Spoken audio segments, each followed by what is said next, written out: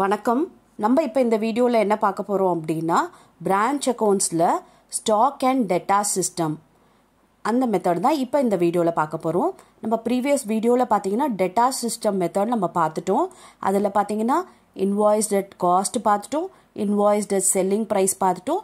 அதில் நிறைய ப்ராப்ளம்ஸ் நம்ம பார்த்தாச்சு ப்ரீவியஸ் வீடியோவில் பார்க்காதவங்க அந்த வீடியோவை பார்த்துக்குங்க. அப்போ தான் நமக்கு டெட்டா சிஸ்டம்னா என்னன்றது உங்களுக்கு புரியும். ஓகே இப்போ இந்த வீடியோவில் என்ன பார்க்க போகிறோம்னா stock and debtor system. Okay stock and debtor சிஸ்டம்னா என்ன அப்படின்னு பார்த்தீங்கன்னா இதுக்கு நமக்கு இன்னொரு பேர் இருக்குது அதுக்கு பேர் என்னன்னா அனாலிட்டிக்கல் மெத்தடுன்னு சொல்லுவாங்க.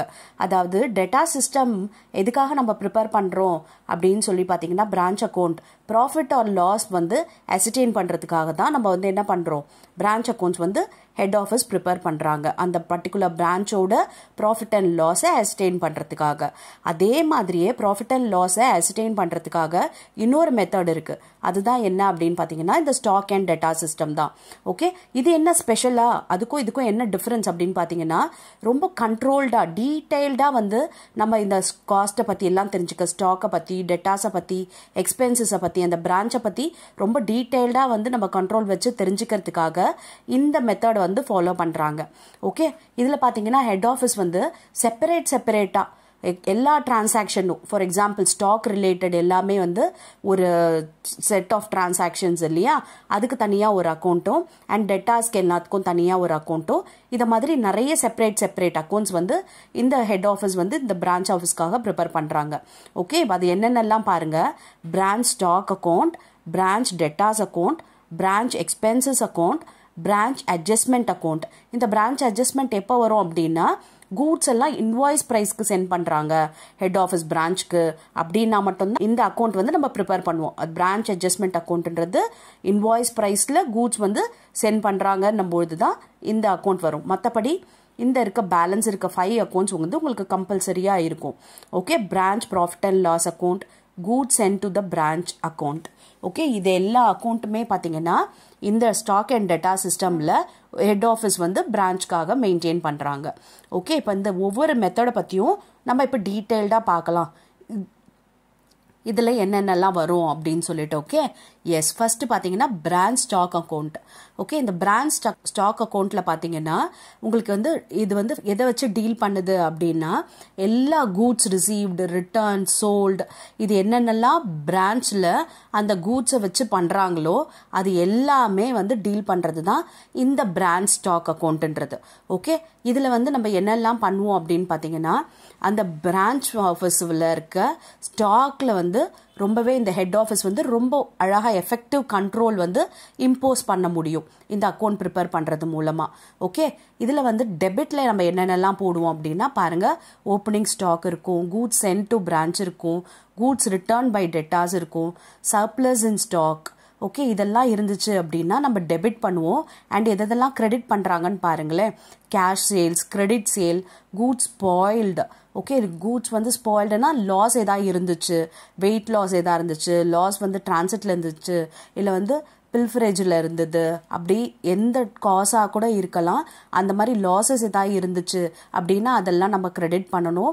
அதுக்கப்புறம் goods return to head office okay branch வந்து ஹெட் ஆஃபீஸ்க்கு கூட்ஸை ரிட்டர்ன் பண்ணுறாங்க அப்படின்னாலும் அண்ட் க்ளோசிங் ஸ்டாக் இது இருந்துச்சுனாலும் நம்ம வந்து என்ன பண்ணுவோம்? கிரெடிட் பண்ணுவோம்.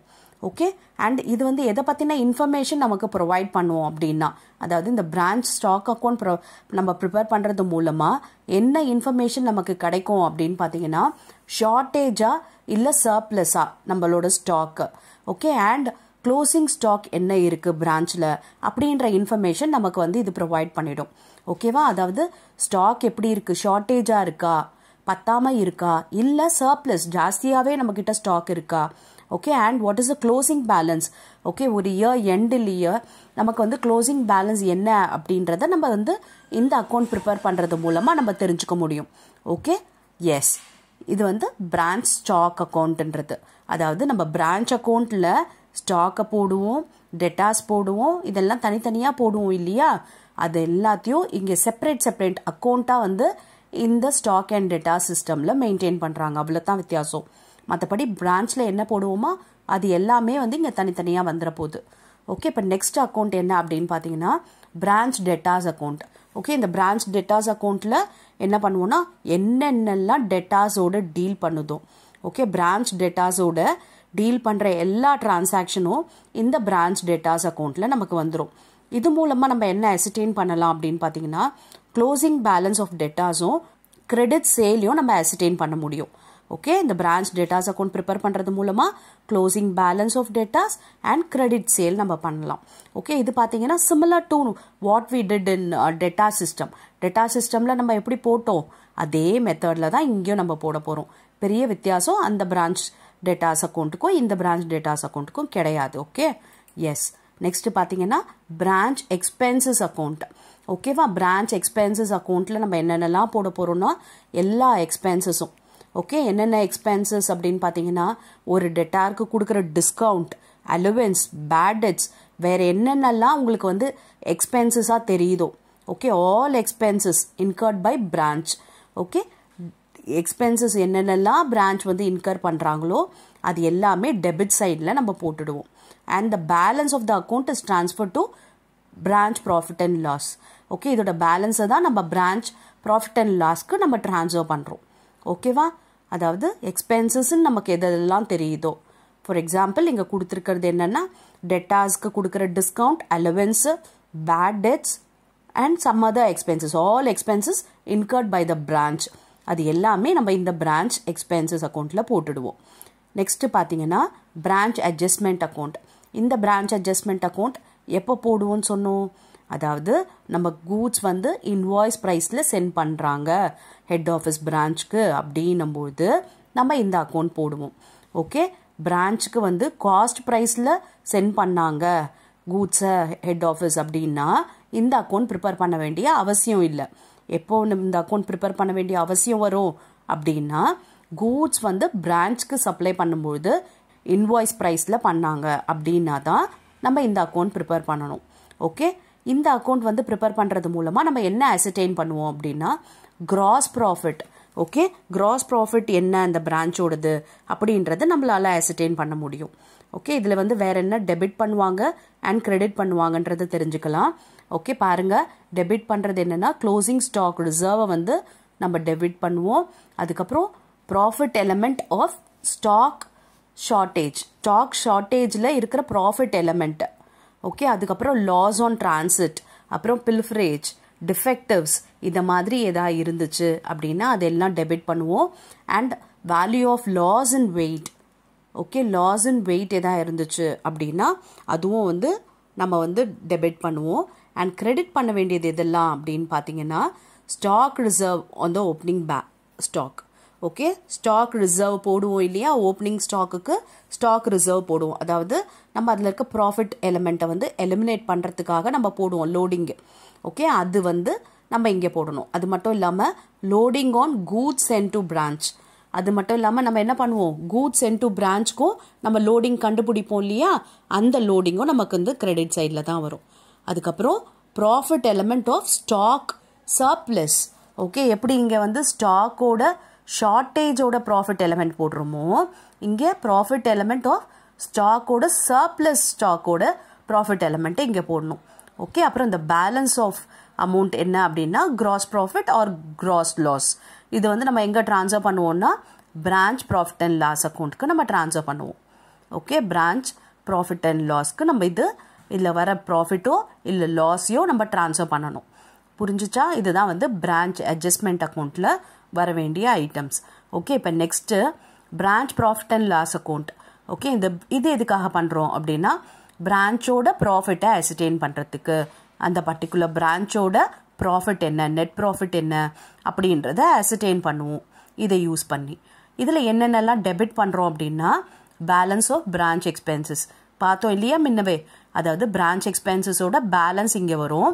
அதுக்கப்புறம் cost of goods lost okay அந்த இப்போ பார்த்தோம் இல்லையா அட்ஜஸ்ட்மெண்ட் அக்கௌண்ட்டில் லாஸ் என்னென்னலாம் இருக்கோ ஷார்ட்டேஜோ டிஃபெக்டிவோ லாஸ் இன் டிரான்சிட்டோ இல்லை வந்து பில்ஃபரேஜோ இது மூலமாக வந்த லாஸ் எல்லாம் இங்கே போடுவோம்.